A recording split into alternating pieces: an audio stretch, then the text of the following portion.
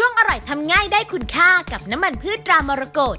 วันนี้เรามีเมนูความอร่อยมากคุณค่า อย่างเมนูเบอร์เกอร์กุ้งฝอย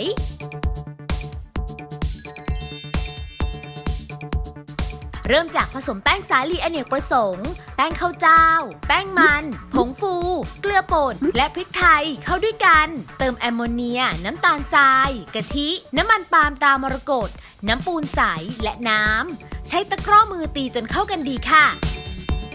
ทน้ำมันปาล์มตรามรกตลงในกระทะ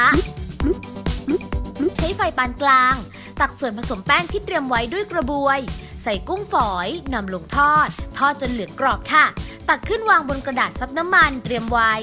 จากนั้นทาเนยสดลงบนขนมปังเบอร์เกอร์ จี่จนขนมปังสุกเหลือง จากนั้นทาขนมปังด้วยสลัดครีมให้ทั่ว วางผักสลัดตามด้วยกุ้งฝอยที่ทอดเตรียมไว้